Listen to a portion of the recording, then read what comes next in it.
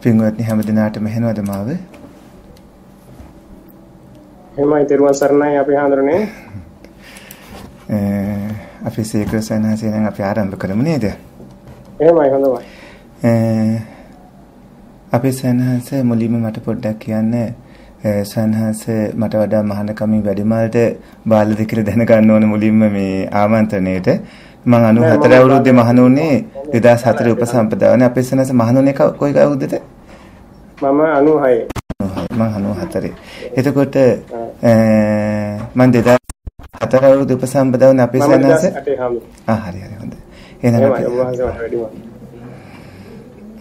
අපේ සනහස මේ මම රත්නපුර තපුවනේ වැඩ ඉන්නේ මිනිපුර අමාසයන් තපුවනේ අපේ සනහස වැඩ ඉන්නේ කොහෙද එතකොට මම පන්සල නම් කොළඹ අපේ හාමුදුරනේ මම මේ වැඩ කොළඹ කොහෙද සයනාස? වැල්ලවත්ති. එහෙමද? වැල්ලවත්ති පන්සල මොකක්ද සයනාස? එහෙම ධර්මාරාම. එහෙමයි එහෙමයි සයනාස.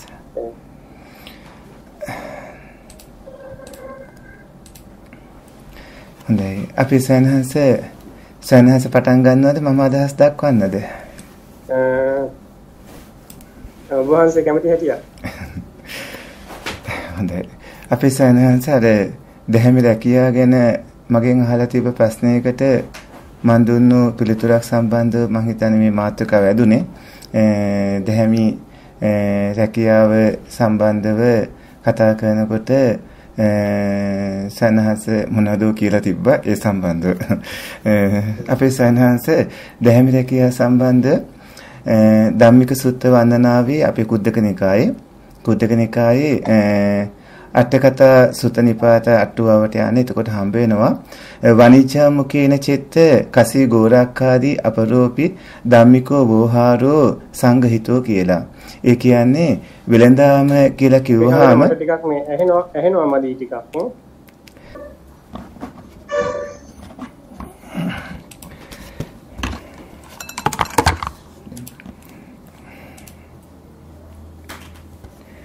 දැන් කොහොමද අපේ සනහස? ආ දැන් දැන් දැන් අපේ සේකර ඇස්මුතුන් වහන්සේ දැන් අර දැහැමි රැකියා සම්බන්ධ වහනකොට සත්ත්වපාලනයේ දැහැමි රැකියාවක්ද කියලා හද්දී ඔව් සත්ත්වපාලනයේ දැහැමි රැකියාවක්. ඒ ගැන අපේ භාග්‍යවතුන් වහන්සේ හුඟක් තැන්වලදී දේශනා කරලා තියෙනවා. දැන් අපේ ධම්මික සුත්ත වන්දනාවට ගියාම වනිච්ඡාමුකේන චිත්ත මේ කසී ගෝරක්ඛාදී අපරෝපි ධම්මිකෝ වෝහාරෝ සංඝහිතෝ කියලා සඳහන් වෙනවා. ඒ කියන්නේ වෙලඳාම කියලා කිව්වහම එතන ගොවිතැන ගවපාලනය ආදී ඒ කියන්නේ කසී ගෝරක්ඛාදී ගොවිතැන සහ ගවපාලනය ආදී වෙනත් දැහැමි ආදායම් ලබන කටයුතු තමයි මෙතන දැහැමි රැකියාව වෙලඳාම කියලා කියන්නේ. එතෙන්දී අපි ගව පාලනය සහ සත්ව පාලනය දැහැමි රැකියාවක් අපේ සන්හංශ ඒ පිළිබඳව සන්හංශ කතා කරලා තිබ්බේ ඒක එදා කළ ප්‍රකාශය නිවැරදි වගේම සූත දේශනාවලදීත් ඒක අපේ සන්හංශයට දැනගන්න පුළුවන්කම තියෙනවා. එතනින් එහෙනම් සාකච්ඡාව පටන් ගමු. සන්හංශට බාරයි ඊටු ටික. හොඳමයි. ආම්දුරෝනේ මේ දැන් ওই අටුවාවේක තියෙන එකක් නේද? ඔය කිව්වේ මට කියන්න පුළුවන් සූත්‍රවල මේ ඔය ගැන සඳහන් වෙන තැනක් තියෙනවා ඒක බුදුරජාණන් වහන්සේ මේ? අනිවාර්යයෙන්ම අපේ සයන්හස මට කියන්න පුළුවන් අපේ සයන්හසේට ඔය මස් මාංශ ආදී රජගෙදරට අරන් යනකොට උපාසක උපාසිකාවන් විදිහට හිටිය අය සම්බන්ධව මොනවාරි උද්ඝෝෂණයක් ඒකට විරුද්ධත්වයක් ඇති වුණු මොනවාරි සමාජ උද්ඝෝෂණයක් ගැන අපේ සූත්‍ර දේශනාවල සඳහන් වෙනවද කියලා? ඔව් එහෙම තන් තියෙනවා. හා කියන්න බලන් සයන්හස මස් මාංශ රජගෙදරට අරගෙන යන එක සම්බන්ධ රජවරුන්ට සිටුවරුන්ගේ කෑමට අරගෙන යන එක විකුණන එක සම්බන්ධව ඇති වුණු ගෝසාව සිය සේනාධිපති සූත්‍රයේ සංඝරත්නයට අදාළ එකක් මං අහන්නේ මේ උපාසක උපාසිකාවන්ගේ පරිහරණය සම්බන්ධව. නැහැ ඒක නම දන්නේ නැහැ. දැන් බුදුරජාණන් වහන්සේට සංඝයාට මස් මාංශ පූජා කරපු අවස්ථාවවලදී උද්ඝෝෂණ පැන නගුණා කියනවා මම කියවලා තියෙනවා. සයන්හස ඒක නෙමෙයි මම හැව්වේ. මං ඇහුවේ උපාසක උපාසිකාවන් ජීවත් වෙන රැකියාව සම්බන්ධව ඒ කියන්නේ දානෙට පූජා කිරීම සම්බන්ධව නෙමෙයි. අර ජීවත් වෙනකොට රැකියාව සම්බන්ධව ඒ කට්ටියට මේ අර විරුද්ධත්වය ප්‍රකාශ කරමින් ඇති වුණු මොන හරි මේ ඒ ගැටලුකාරී තත්වයක් ගැන අහලා තියෙනවද? තියෙනවද එහෙම සූත්‍ර දේශනාවල? නෑ මම අහලා නෑ. ඒක තමයි අපේ සයන්හංශ ධර්මයේ ගැන කතා කරද්දී අපේ සයන්හංශ විශේෂයෙන්ම අපේ ස්වාමින් වහන්සේ නමක් ශාසනය වෙනුවෙන් නියෝජනයක් දරන්න ඕන. එතකොට අරහත් දජේ දානවා නම් අපේ සයන්හංශ ධර්මයේ දැනගෙන ඉන්න ඕන. එතකොට හිතලු කියන්නේ භාග්‍යවතුන් වහන්සේ දේශනා කරපු ධර්මයේ නෙමෙයි. ඒක නිසා භාග්‍යවතුන් වහන්සේ දේශනා කරපු ධර්මයේ තමයි අපි කියන්න ඕන අපිට හිතසු කියන්න අයිතියක් නෑ සයන්හස දැන් උද්ඝෝෂණ විවිධ දේවල් දැන් මට මේ එහෙම තැනක් කියන්න පුළුවන් සූත්‍රවල තියෙන තැනක් දැන් මේ බුදුරජාණන් වහන්සේ ඍජුව සත්ව පාලනය අනුමත කළා කියලා කියන තැනක් සූත්‍රවල තියෙනවා.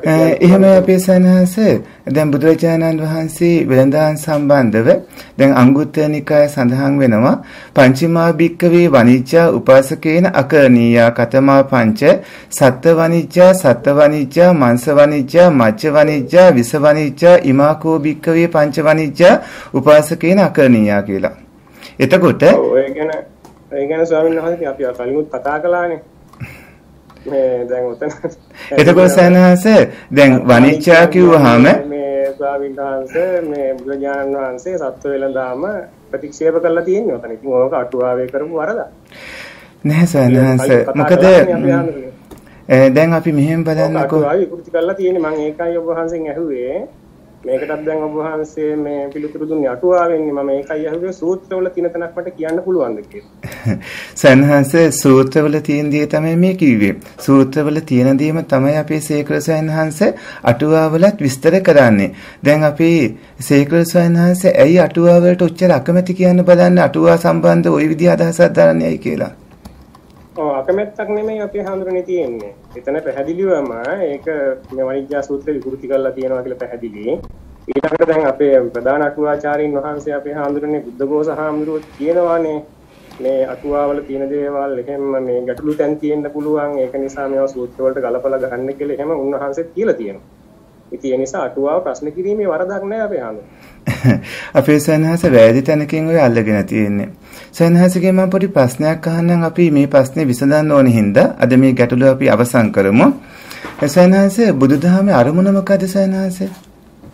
නෑ අපේ හඳුන් දැන් ඔහොම ගියොත් අපිට මාතෘකාවක් නෑ නෑ මේ මාතෘකාවට අදාළව අහන්නේ මේ මාතෘකාවට අදාළව මොකද මේ මාතෘකාව වෙළඳාම සහ සන්හංශ මේ සත්ඝාතනයේ සම්බන්ධව කතා කරන්නේ ස්වාමීන් වහන්සේ අපට ඕනේ බුදුජානන් වහන්සේ මේ සත්ත්ව පාලනය මේ කැප දෙයක් ලෙස අනුමත කළාද නැද්ද කියන එකනේ අපිට निराකරණය කරගන්න අන්න ඒක निराකරණය කරන්න අපේ සයනාස මං හව ප්‍රශ්නට උත්තරي ඕන වෙනවා.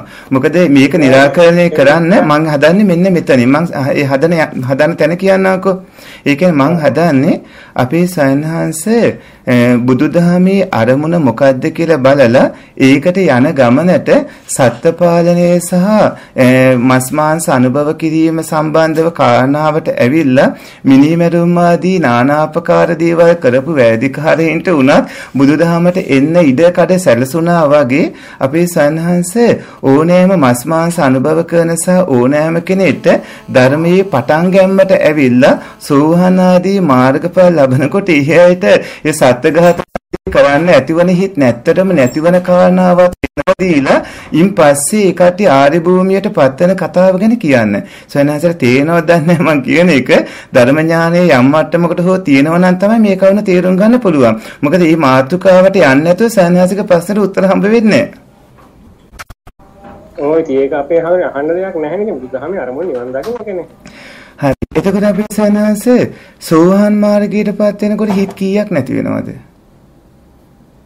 නෑ අපේ හාමුදුරනේ අපි මාත්‍රකාවෙන් පිට යනවා. නෑ අපේ සනස මං අහපු ප්‍රශ්නෙට උත්තර දෙන්නකෝ. මොකද ඒක මේකට කෙලින්ම ඍජුව සම්බන්ධයි. මොකද සයන්හන්ස මට සෝහාන් මාර්ගයට පත් වෙනකොට දැන් ස්වාමීන් වහන්සේ නමක් අරහත් දජේ දානවා නම් ධර්මයේ දැනීගෙනගෙන ඉන්න ඕනේ සයන්හන්ස.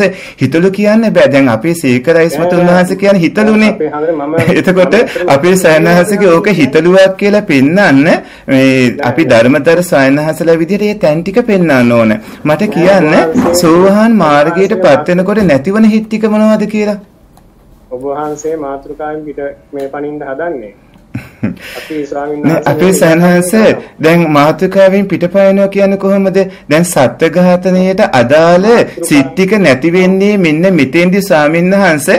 ඊට කලින් ඉන්න පිරිස හික්මවා ගන්න ඕනේ මෙන්න මේක මේට කියලා. බිස්සුන් වහන්සේ නමක් අරහත් දජේ දානවා නම් ධර්මයේ දැන ඉගෙනගෙන ඉන්න ඕන. හිතල කියන්න බෑ. ඒතකොට බිස්සුන් වහන්සේ නමක් විවිධ මට්ටම් වල ඉන්න මිනී මාරපු ගණිකා සේවේන සත්ත්ව ඝාතනය කරපු ඒ වගේම මස්මා වහන්සේ අනුභව කරපු විවිධාකාර පිරිස් ඒ નિયમિત තැනට ගන්නකම් කටයුතු කරන්න ඕනේ විදිහක් තියෙනවා සයනාස.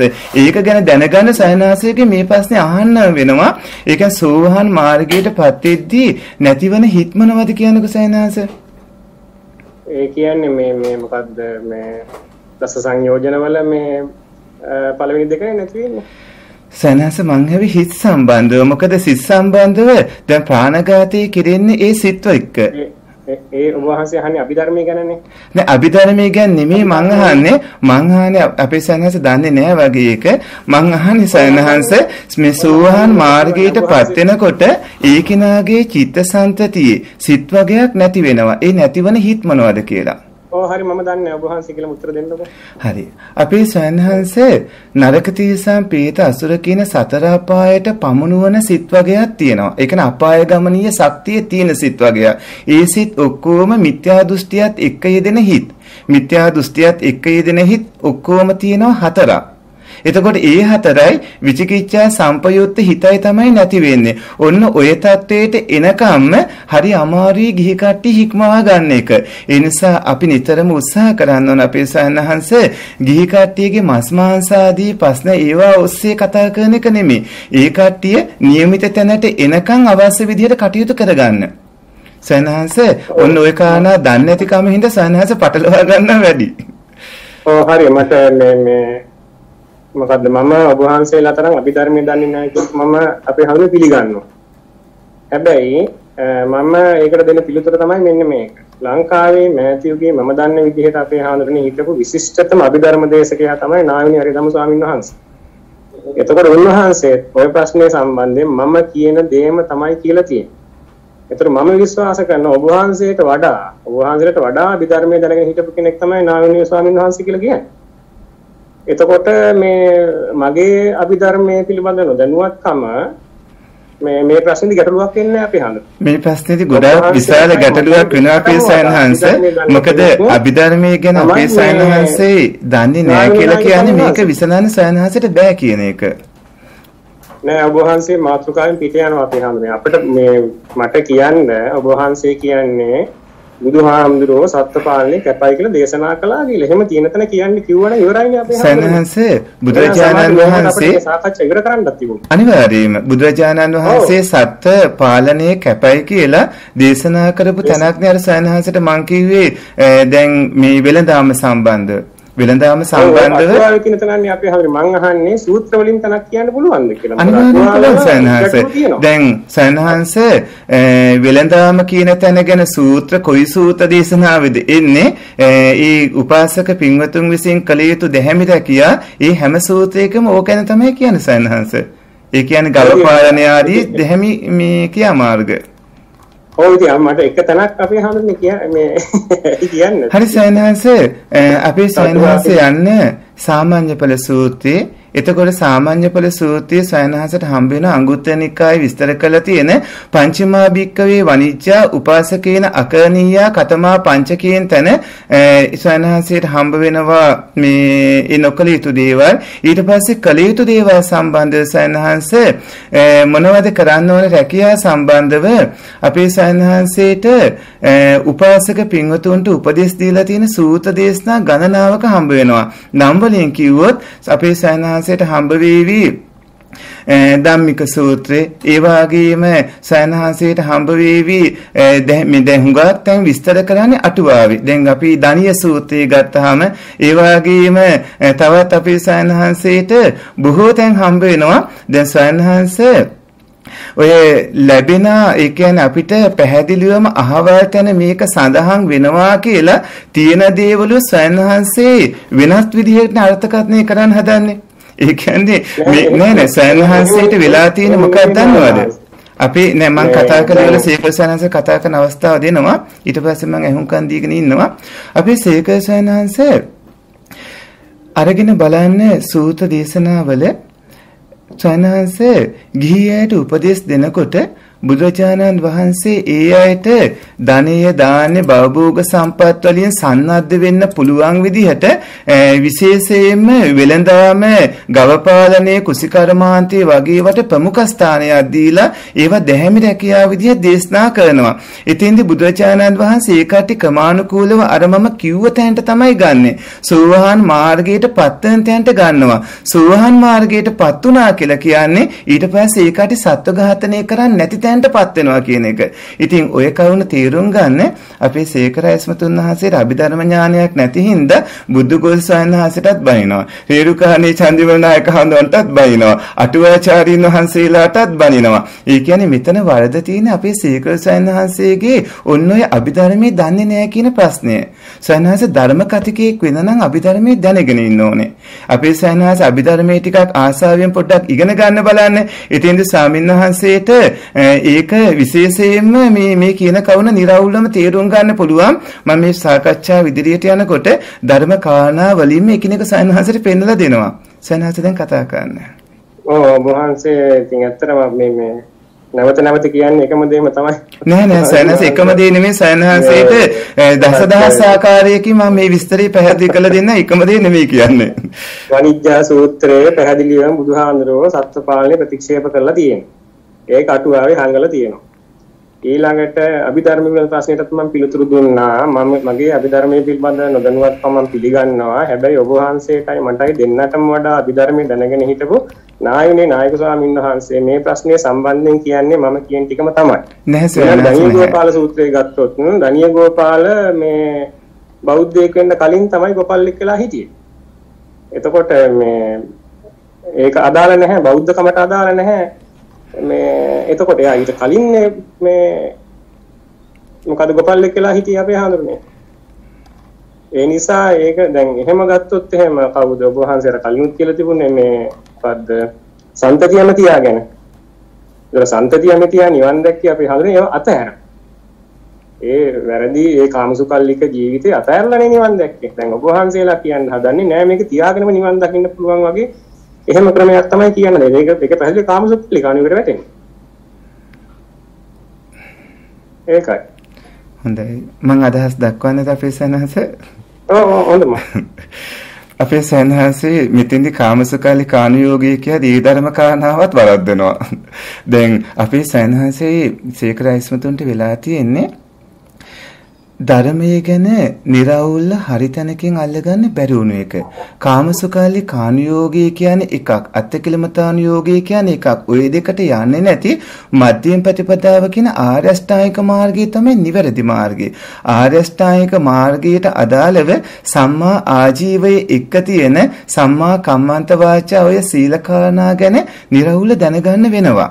නැත්තම් ඔය පැටලිල්ල පටලවා ගන්නවා. මට මේක කියන්න කෙහෙනම් දැන් අපි ධර්මයේ සම්බන්ධව ගත්තාම අපේ සයනහස ප්‍රධාන කාරණාවක් තියෙන. ඒ කියන්නේ මස් මාංශ කණ එක තහනම් කරන්න කලින් ඒ වගේම වෙළඳාම ආදී දේවල් වලදී මේ ඒ කවුණු තහනම් කරන්න කලින් අපේ ප්‍රධාන තැනක් තියෙනවා. දැන් අපේ සයනහස දැහැමි දැකියාවල තියෙන කවුණත් නවත්තන්න හදනවනේ. අපේ ප්‍රධාන තැනක් තියෙන අපි ඒක ධර්මරත්නයේ ගුණවලින් ගමු. අපේ සේකර සනහස මට කියන ඕපනායක ගුණේ විස්තර කරන්න පොඩ්ඩක්. ඕපනායක ගුණේ මොකද්ද කියවෙන්නේ කියලා. එතකොට මේ අදාළ මාතෘකාවට එනවා. නෑ අපේ හාමුදුරනේ දැන් මේ මේ පිරිස දැන් ඇවිල්ලා ඉන්නේ අපේ සනහස දන්නේ නැත්නම් දන්නේ නැහැ කියන්නේ ධර්මරත්නයේ ගුණ වලින් ඕපනායක කියන ගුණේ පොඩ්ඩක් මට කියන්න එතන තියෙනවා මම කියන කාරණාව. මේ කතා කර කර ඉන්න එක අපේ හාමුදුරනේ. දැන් මේ ආපු පිරිසට අපි කරන අසාධාරණ මොකද මේ කිසිම අසාධාරණයක් වෙන්නේ මේ අයට අපි කියමු මේක chat box එකට දාන්න කියලා. මේ ඒ කට්ටියට කැමැතිද අකමැතිද කියලා මං අහන්නේ අපේ සීකල් සයන්හාසයෙන් උපාසක පින්වතුන් පවා දැනගන්න. ගිහියයි උපාසකේ උපාසිකාවක් වීමේ මුල්ම පියවර වන තුනුරුවන්ගේ ගුණ 24 දැනගන්න ගන්න එකේ ඕපනායක ගුණය කියන්නේ කියලායි කියන්නේ. මොකද මේ ඇතුලේ මම කියන්න හදන ප්‍රශ්නෙට උත්තරේ තියෙනවා. අපි සාකච්ඡාව සංවිධානය කරගත්තේ අපේ හාමුදුරනේ ඔය ගැන කතා කරන්නේ නෙමෙයි බුදුහාමුදුරුවෝ සත්‍ය අපේ සයනහන්සේ ඕපනායක ගුණය සයනහන්සේ දන්නේ නැත්නම් සයනහන්සේ අරහත් අධිය දරාගෙන ඉන්නේ කොහොමද කියන්නේ?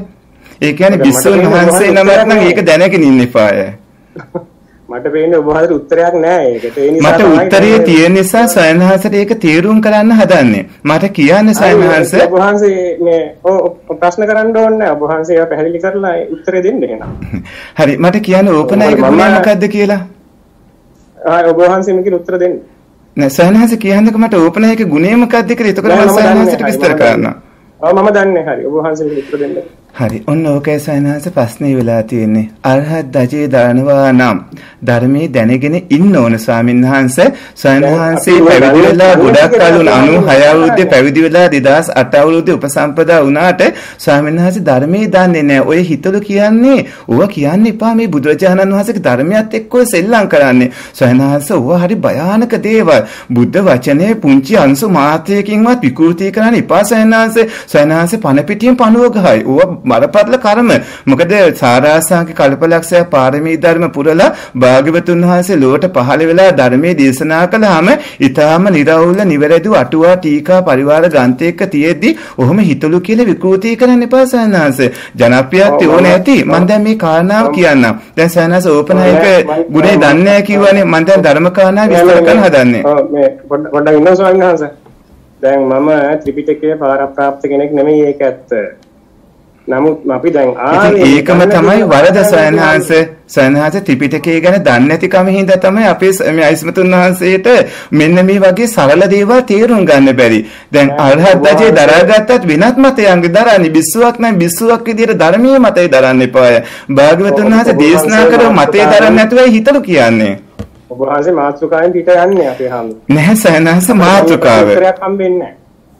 අපිට මේ ප්‍රශ්නේ දැන් උත්තරයක් හම්බෙන්නේ නැහැ අපි අපිට ඕනේ බුදුහාමුදුරුවෝ සත්ත්වපාලනේ දැහැමි රැකියාවක් විදියට. හරි. අනුමත කළාද නැද්ද කියලා ඔන්න මම දැන් ඔන්න මම දැන් මම දැන් අපේ සයන්හසකින් අහපු ප්‍රශ්නෙට අදාළව ඊගෙන සයන්හස දන්නේත් නැති හින්දා ඊගෙන මම පැහැදිලි කිරීමක් කියන ඕන්න අහගෙන ඉන්න. අපි තුනුරුවන්ගේ ගුණ ගැන වෙනම සාකච්ඡාවක් කරමු.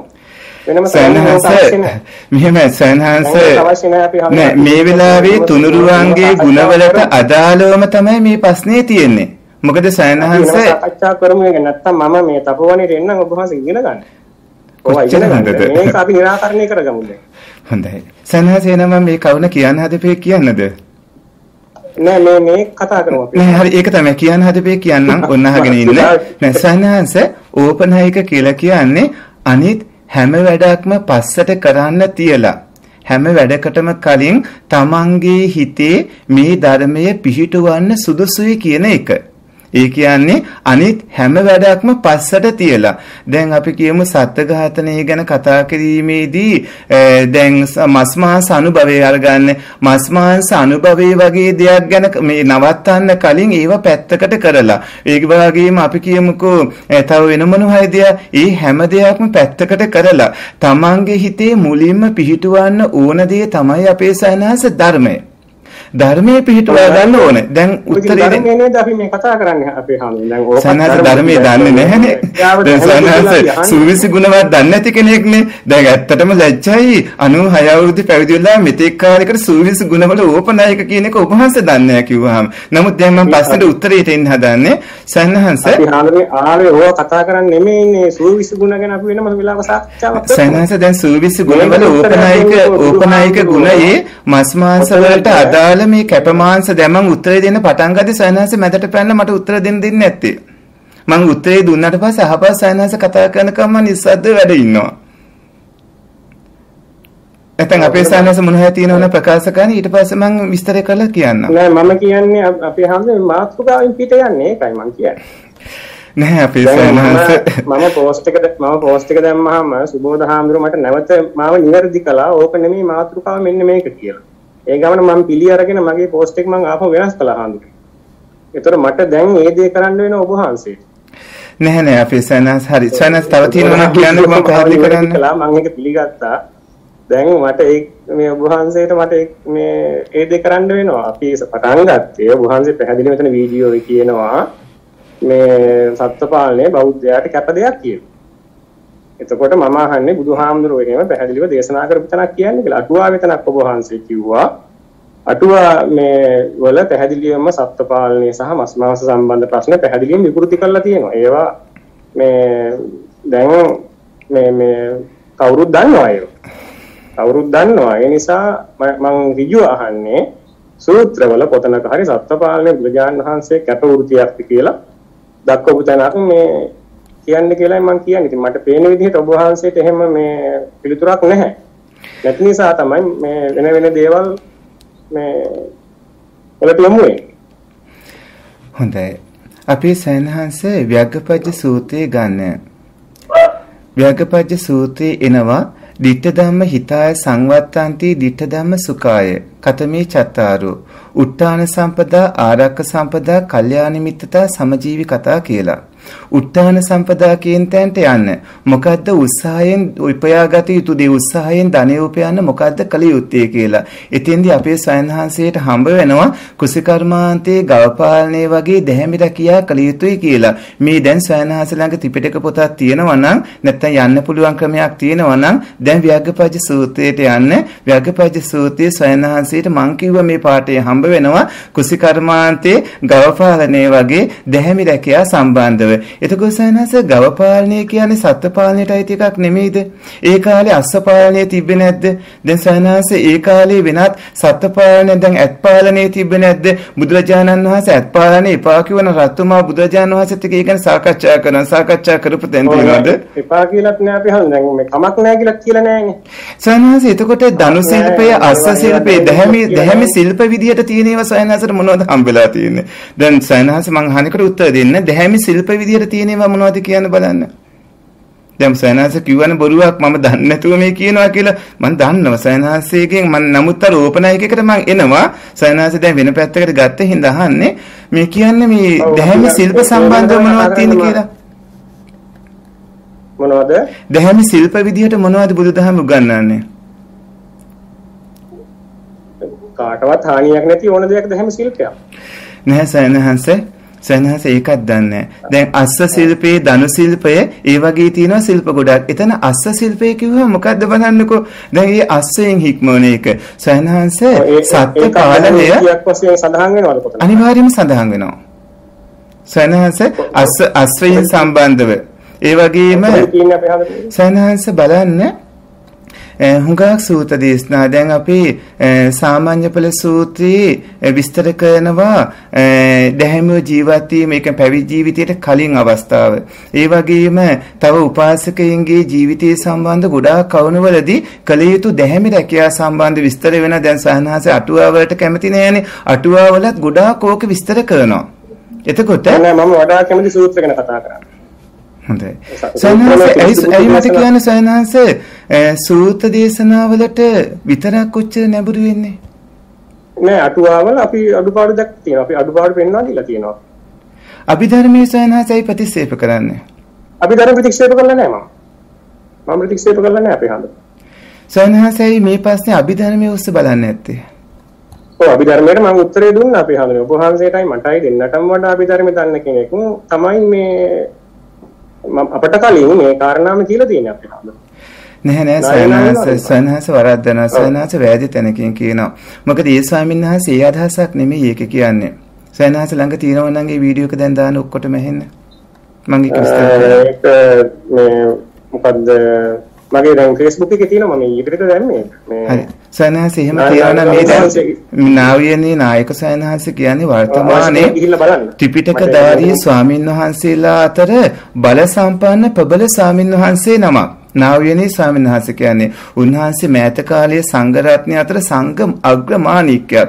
උන්වහන්සේගේ ප්‍රකාශය ඔබ වහන්සේ ඔය වරද්දලා අරන් තියෙන්නේ. මම සයන්හස දැන් ඉස්සෙල්ලා කියන්න හදපු කාරණාවට එන්නම්. මෙන්න මේක දැනගන්න.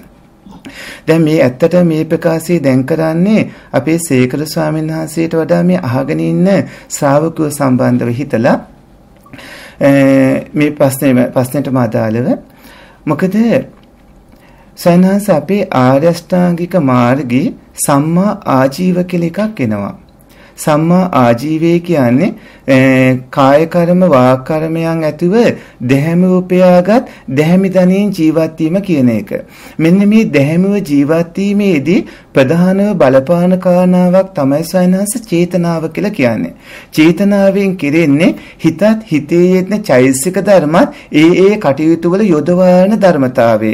එතකොට තමන් සහ තමන්ගේ යැපින්නම් රැකබලාගෙන ජීවත් වෙනකොට ඒ අය කනබොන කෑම්බීම ඒ අයගේ පෙර සංසාරයට හිම අදාළ තණ්හා ආදී කවුණුත් එක්ක තියෙන්නේ. එතකොට තමන් සත්වයේ ඝාතනය කරනකොට මාන චේතනාව ඇතිවීමයි ආහාර අනුභව කරනකොට ඒකේ රසය සම්බන්ධව ඇතිවන කාරණාවයි දෙකක්.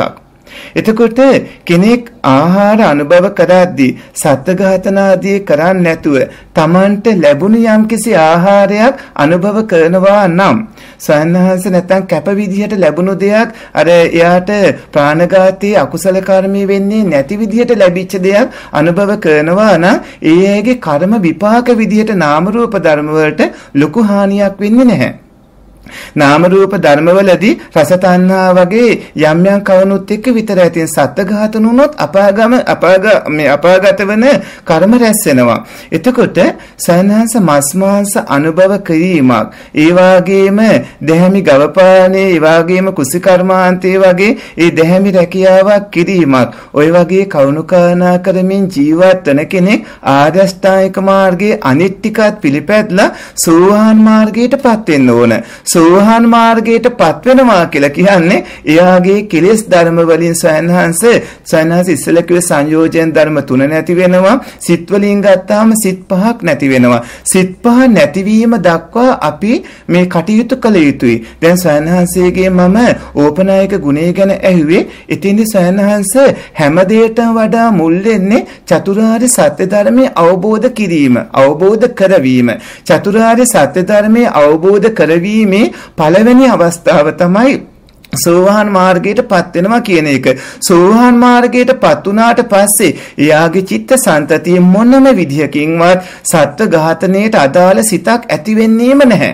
සිතක් ඇති වෙන්නේම නැහැ. අපි උත්සාහ කරන්න ඕනේ දැන් මස් මාංශ අනුභව කරන කට්ටියට මාංශ ප්‍රීතිය අපේ සීකර සයන්හසක භාෂාවෙන් මාංශ ප්‍රීතිය ආදී විදියට බැන බැන ඔබ සයන්හසක දේශේ අනිත්‍යයට පිට කරමින් ඊයේක දේශේ අවුසල සංගරත්නයට බන්නවමින් පිස්සා ආදී විදියට ওই වගේ සංගරත්නයට බහින තත්ත්වයට පත් කරමින් එහෙම දෙයක් නෙමෙයි. කල යුත්තේ සයන්හස අපි බොහෝම ඉවසීමෙන් බලාගෙන ඉන්න ඕන අර කට්ටිය අර කඩේම පනිනකම්. එයාලා ඒ කඩයිම පැන්නට පස්සේ ඒ ඇගේ චිත්ත සන්තතිවල සම්මා සංකප්පය හොඳට පිහිටනවා. අපේ සීකර ඇස්මතුන් වහන්සේ අභිධර්මයේ අද ඉඳන් ඉගෙන ගන්න. එතකොට ඔය අරහත් ධජේ දරාගෙන සමන වීසයෙන් ඔය ශාසනයට හානිදායක විදියට ඔය කරන ප්‍රකාශ ඔබ වහන්සේට නතර කරගන්න පුළුවන්. මොකද අවිහිංසා සංකප්පය ගැන ඉගෙන ගත්තාම අවිහිංසා සංකප්පේ ඇති වෙන්නේ සියලුම සත්වයන් පිළිබඳව කරුණාව මෛත්‍රිය. එතකොට ඒ කරුණාව සියලුම සත්ත්වයන් හිංසාවක් නොකරන චේතනාව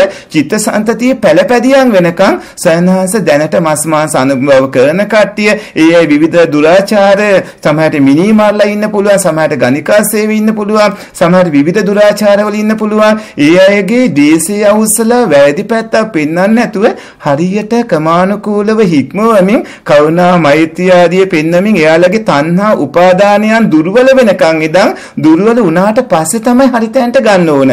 ඔන්න ඔය න්‍යාය සයන වහන්සේට පොඩ්ඩක් තීරුණා නම් මේ අරහත් ධජේ දරාගෙන ශාසනයට මේ තරම් හානියක් කරන එක සයන්හස නතර කරાવી. සයන්හසට අදහස් දක්වන්නේ. මුලින්ම දැන් මේ මස් මාස් කෑවට කමක් නැහැ කියන එක ඒකත් අපි කියලා තියෙනවා බුදුහාමුදුරුවෝ අනුමත කරලා තියෙන්නේ ඉබේමීක රජුගේ මස් කෑවට කමක් නැහැ කියන එක. ඒකත් නායුනී නායක ස්වාමීන් වහන්සේ ඒ අදහසත් ඉදිරිපත් කරලා තියෙනවා. ඔය වීඩියෝ එකේ සාමණේරහන්ස වගේ උත්තම චරිතයක් නේ උත්තම මම පොඩ්ඩක් බාධා කරනවා ආපහු ඊට පස්සේ නිස්සද්ද වෙන්නවා. නාවියනේ නායක හාමුදුරුවෝ නැතිව ස්වාමීන්වහන්සේත් අටුවා වලින්ම දැන් අටුවා ප්‍රතිසේප කරනවානේ සූත්‍ර වලින් සහ අභිධර්මයෙන් සහ විනයෙන් විතර ස්වයන්හස කතා කරන්නකෝ. දැන් නාවියනේ නායක හාමුදුරන්ගේ ප්‍රකාශයේ මේ වෙලාවේ ස්වයන්හස ඔක්කොටම අහන්න සලස්වනම් හොඳයි. මොකද ඒ වගේ උත්තමයාණන් වහන්සේ නමක් ගරු සම්භාවනීය පූජනීය උතුමන් වහන්සේගෙන් කියපු දේවලුත් විකෘති කරමින් සයනාස අදහස් දක්වන නිසා ඒ උත්තමයන් වහන්සේගේ නම ප්‍රකාශ නොකර ත්‍රිපිටක අටුවා වලින් ත්‍රිපිටක කාරණා වලින් පෙන්වන්න. ඔව් මට මේ මේක තේරෙන්නේ නැහැ අපේ හඳුරන්නේ කොහොමද ඒක ගන්නෙ කියලා. වීඩියෝ මම කලින් මේ මට ඕනනම් දාන්න පුළුවන්. නමුත් ඇත්තටම මේ නොදැම්මත් ප්‍රශ්නයක් නැහැ. දැන් වුණත් මගේ Facebook එකට ගිහිල්ලා ඕන කෙනෙක් බලන්න. ඒක වීඩියෝ එක තියෙන උන්වහන්සේ ත්‍රිකෝටි පාරිශුද්ධ මාංශයට උදාහරණයට ගන්න ඉබේමීගේ සතෙක්. ඒ වගේම උන්වහන්සේ පැහැදිලිවම මරපු සත් කියන කඩේ තියෙන සත්තුන්ගේ මාංශ ත්‍රිකෝටි පාරිශුද්ධ වශයෙන් උන්වහන්සේ පිළිගන්නේ නැහැ.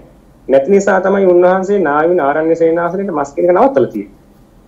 එතකොට මේ ඔබ වහන්සේ කියන විදිහට මේ එතකොට බුදුහාමුදුරුවෝ ඒ කියන විදිහේ මස් කෑමක් ඔබ වහන්සේලා කියන විදිහේ මස් කෑම බුදුහාරු අනුමත කරලා නෑ කියන එකයි අපේ ඉස්සාව. දැන් ඒ ප්‍රකාශයේ මෙතෙන්දිම පොඩ්ඩක් නිරව කරන ඊට පස්සේ මම නැවත නිස්සද්ද වෙනවා. සයනහස ඕක අභූත චෝදනාවක් ඔය කරන්නේ ඒ ස්වාමීන් වහන්සේලාට.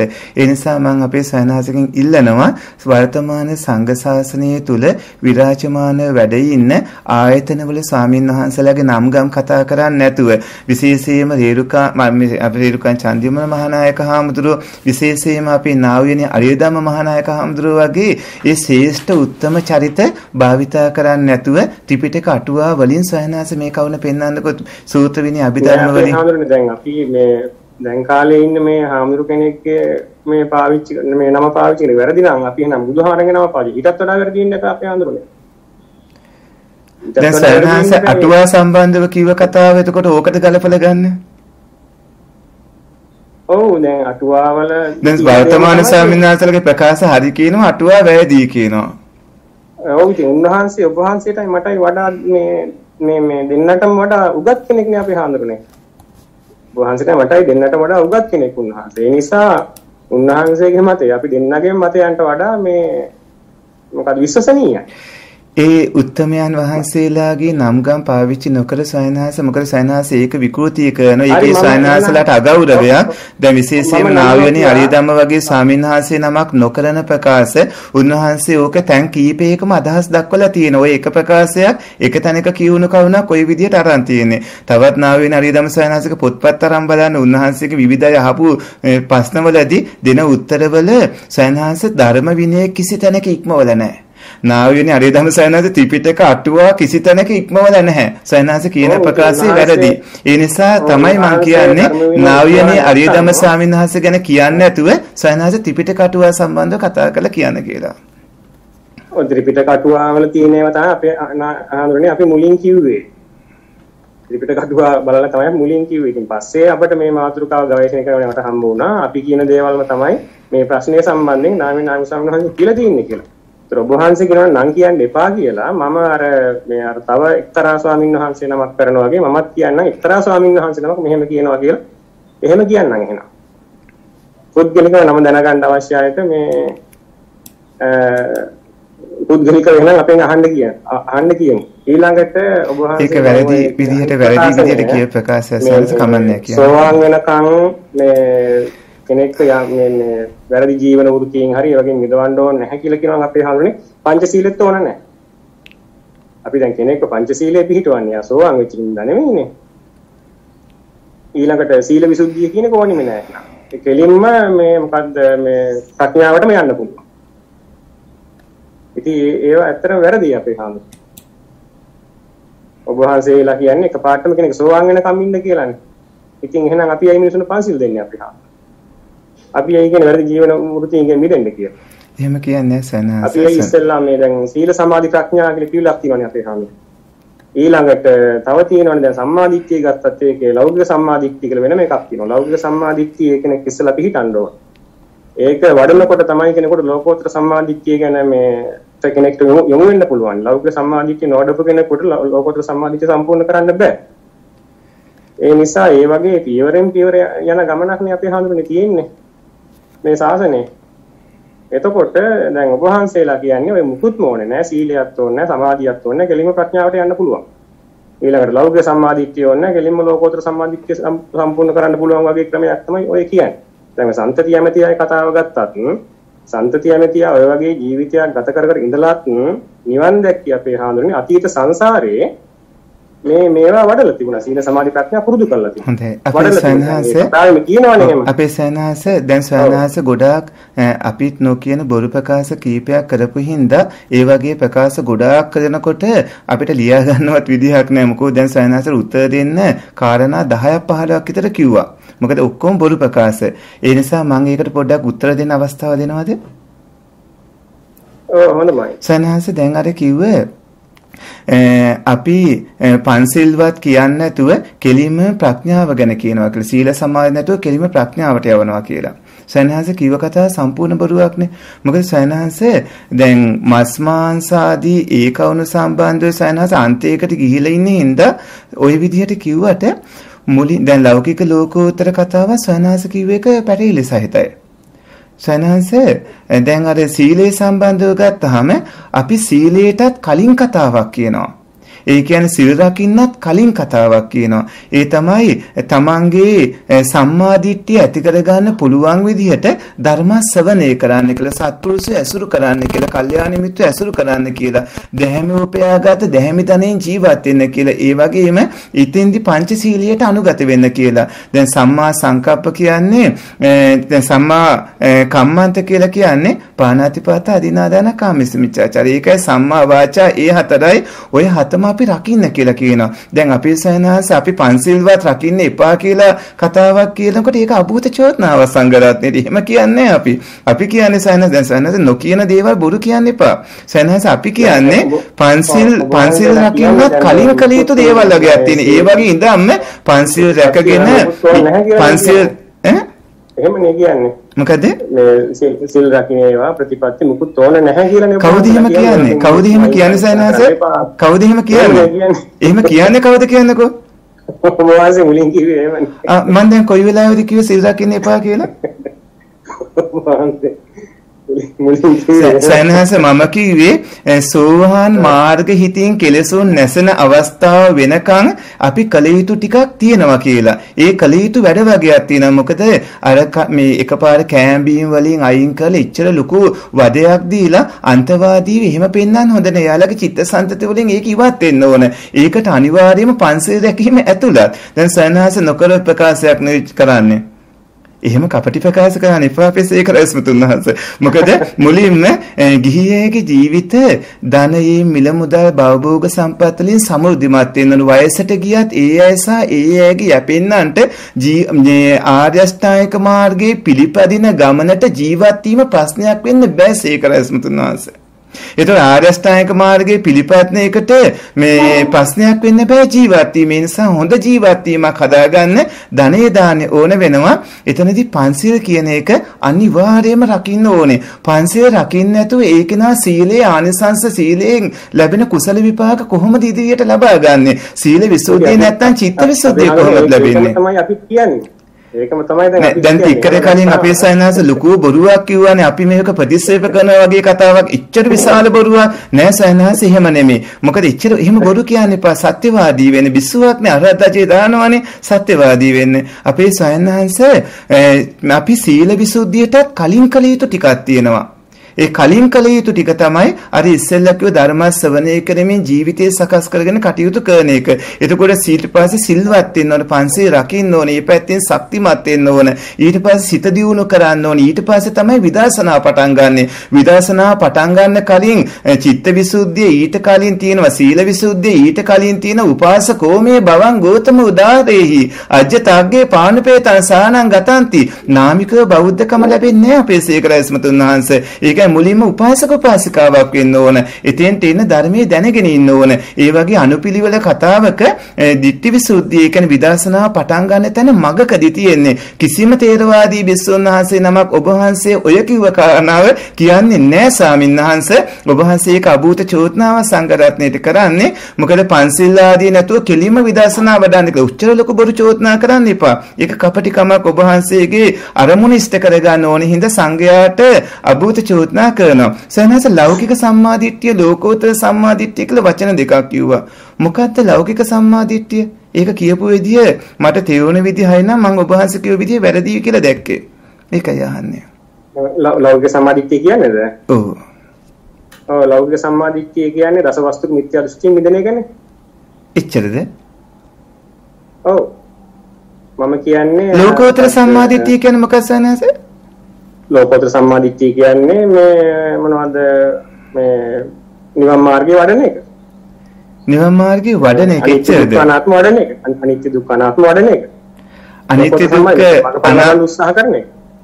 මගපල අපොඩ්ඩක් මගපල ලබන්න උත්සාහ කරන එකද ලෝකෝත්තර සම්මාදිට්ඨිය කියන්නේ? ඔව් මගපල වලට මෙහා කොටස තමයි ලෞකික සම්මාදිට්ඨිය කියන්නේ. මට දෙක මේ දැන් දෙකක් කියන්න එපා. මගපල වලට උත්සාහ කරන එකට මගපල ලැබුවට පස්සේද? මේ ලෝකෝත්තර සම්මාදිට්ඨිය නෑ ලෞකික සම්මාදිට්ඨිය ලෝකෝත්තර සම්මාදිට්ඨිය ගැන සයන්හස කියන අදහස මට පැහැදිලිව කියන්න. ඔව් ලෞකික සම්මාදිට්ඨිය පැහැදිලිව කරුණු 10ක් සඳහන් වෙනවානේ දසවස්තුක මිත්‍යා දෘෂ්ටි කියලා. හරි මං අහන්නේ මගපල් ලැබීමට කලින්ද මගපල් ලැබීමෙන් පස්සේද? මගපල් ලබන්න කලින්. ලෞකික සම්මාදිට්ඨිය ලෝකෝත්තර සම්මාදිට්ඨිය දෙකම ලබා ගන්න ඕනද? ලෞකික සම්මාදිට්ඨිය. ලෝකෝත්තර සම්මාදිට්ඨිය. ලෝකෝත්තර සම්මාදිට්ඨිය කියන්නේ කෙලින්ම මගපල් ලැබීම සඳහා මේ උත්සාහ කිරීම. මගපල් ලැබීම සඳහා උත්සාහ කිරීම කියන්නේ මගපල් ලබන්න කලින් කතාවක් නේද ඒ කියන්නේ උත්සාහ කරන එක. ඔව්. සයන්හස වැරදීනේ.